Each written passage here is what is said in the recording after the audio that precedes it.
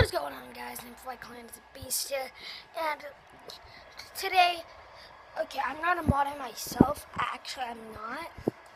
But if you think all those videos are true about getting USB modding, it is true. I, I mean, it's true, but you'll get banned in three seconds. So do not try to do USB modding. You'll get banned in three seconds. Because first you know you need eBoot. You need um what's it? A jailbroke. And you and you need an RTM tool. And you need a 3.55 or a 4.80 PlayStation.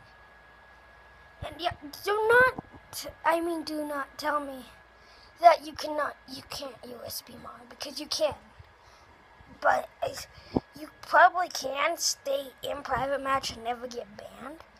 But if you, I mean, if you go on photos and you go online to try it, don't just just don't, don't just don't. You're gonna get reported and you're gonna get banned. You might get console banned, and I wouldn't want that to happen. This is for Xbox and PlayStation 3. Hope you enjoyed today's video. If you could smash 10,000 likes. I'm just kidding, just kidding, just kidding. Two likes. Um, because I can't get mostly any likes. But, and yeah, so you can